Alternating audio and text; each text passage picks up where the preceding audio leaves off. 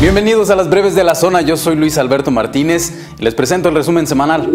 El lunes, concesionarios de transporte público en León solicitaron la instalación de la Comisión Mixta Tarifaria para revisar si podrán solicitar un aumento en el costo del pasaje. El líder de Transportistas Coordinados de León, Daniel Villaseñor, pidió la comprensión de la ciudadanía y de las autoridades.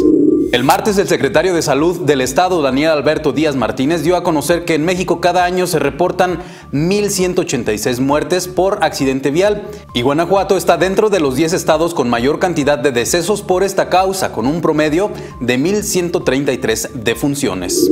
La tarde del martes se registró un ataque armado en las inmediaciones del Parque Los Cárcamos sobre el Boulevard López Mateos y Hacienda de la colonia que lleva el mismo nombre.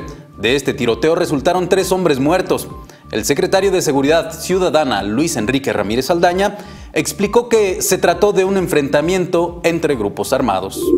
El jueves un despacho de abogados que comparte edificio con las oficinas de la Secretaría de Seguridad Pública de León, sujetos irrumpieron durante la madrugada y presuntamente maniataron a un guardia de seguridad. También trascendió que se intentaron llevar una caja fuerte. Hasta el momento se desconocen las pérdidas y tampoco se reportaron personas detenidas. El viernes la presidenta del Tribunal Colegiado de Enjuiciamiento, Gloria Esther Hernández Valtierra, dictó 60 años de prisión a Raúl Julio Escobar Poblete, alias el comandante Emilio, a quien ordenó pagar una multa superior a los 320.160 pesos, esto luego de ser hallado culpable del delito de secuestro agravado, en agravio de Nancy Michelle Kendall, de 60 años, quien fue privada de su libertad durante un par de meses hace varios años.